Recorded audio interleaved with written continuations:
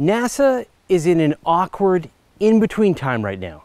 Since the beginning of the space age, the agency has had the ability to send its astronauts into space. The first American to go to space, Alan Shepard, did a suborbital launch on board a Mercury Redstone rocket in 1961.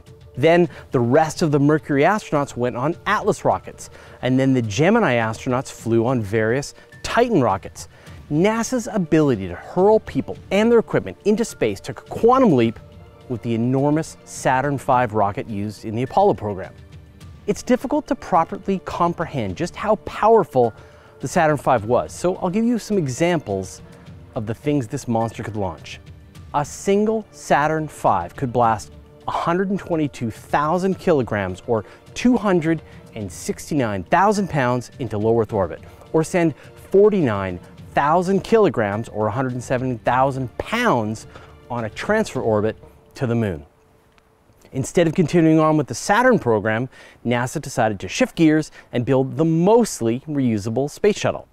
Although it was shorter than the Saturn V, the space shuttle with its twin external solid rocket boosters could put 27,500 kilograms or 60,000 pounds into low Earth orbit. Not too bad. And then in 2011, the Space Shuttle program wrapped up, and with it, the United States' ability to launch humans into space, and most importantly, to send astronauts to the continuously inhabited International Space Station. That task has fallen to Russian rockets until the US builds back the capacity for human spaceflight. Since the cancellation of the shuttle, NASA's workforce of engineers and rocket scientists have been developing the next heavy lift vehicle in NASA's lineup, the Space Launch System.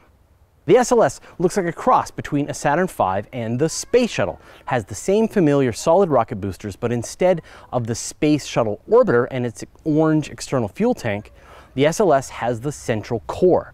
It has four of the Space Shuttle's RS-25 liquid oxygen engines. NASA knows how to use them and how to use them safely. The very first configuration of the SLS, known as the Block 1, should have the ability to put about 70 metric tons into low Earth orbit. And that's just the beginning. It's just an estimate.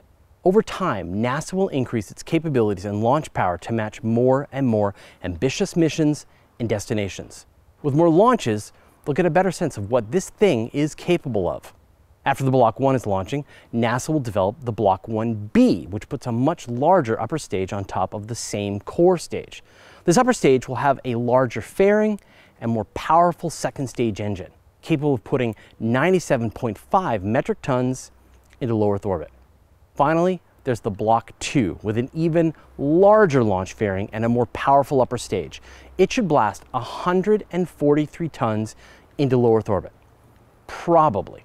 NASA is developing this version as a 130 ton class rocket, but we don't know what the upper end is. And with this much launch capacity, what could be done with it? What kinds of missions become possible on a rocket this powerful? The main goal for SLS is to send humans out beyond low Earth orbit, ideally to Mars in the 2030s, but could also go to asteroids, the moon, whatever you like. And as you'll see later on in this video, it could send some amazing scientific missions out there too. The very first flight for SLS called Exploration Mission 1 will be to put the new Orion crew module into a trajectory that takes it around the moon in a very similar flight to Apollo 8. But there won't be any humans, just the unmanned Orion module and a bunch of CubeSats coming along for the ride. Orion will spend about three weeks in space, including about six days in a retrograde orbit around the moon. And if all goes well, the first use of the SLS with the Orion crew module will happen sometime in 2019. But also, don't be surprised if it gets pushed back. That's the name of the game. After Exploration Mission 1, there's EM2, which should happen a few years after that. This will be the first time humans get into an Orion crew module and take a flight into space. They'll spend 21 days in a lunar orbit and deliver the first component of the future Deep Space Gateway, which will be the subject of a future video.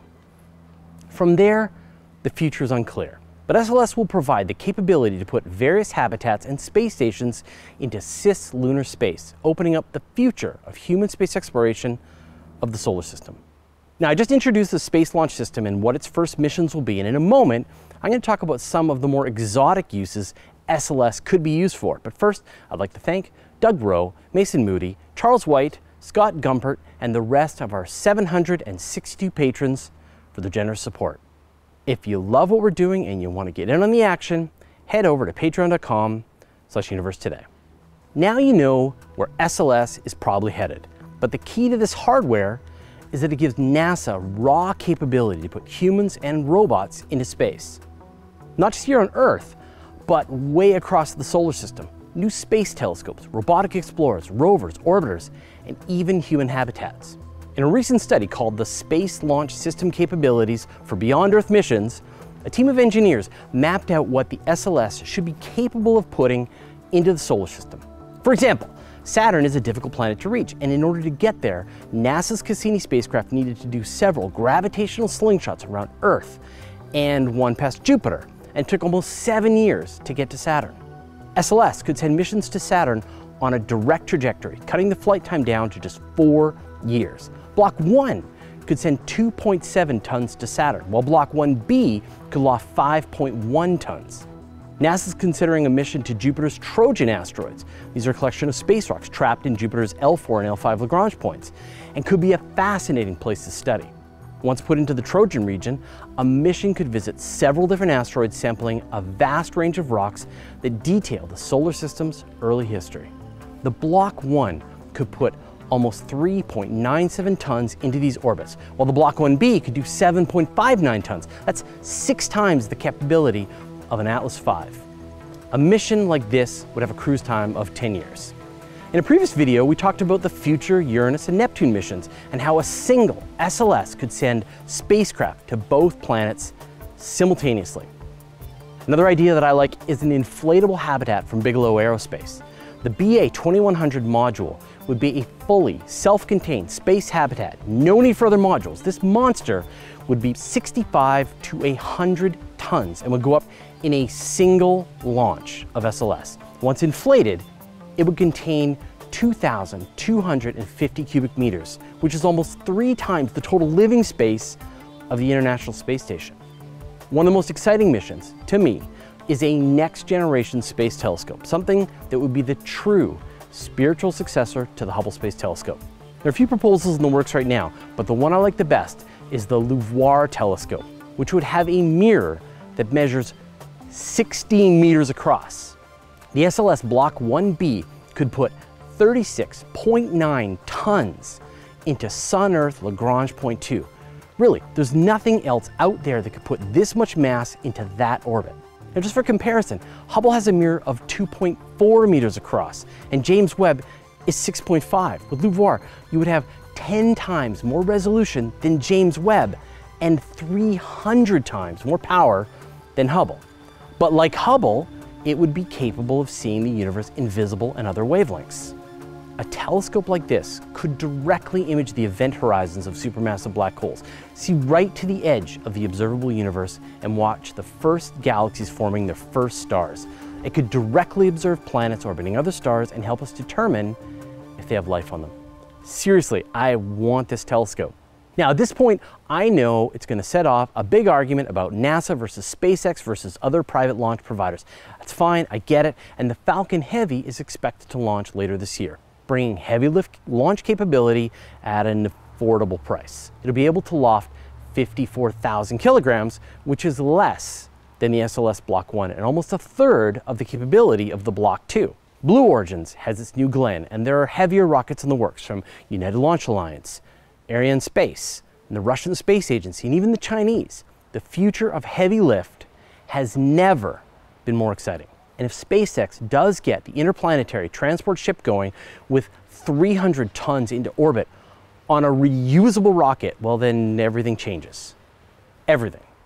Until then, I'm still looking forward to the SLS. What places would you like to see the SLS travel to?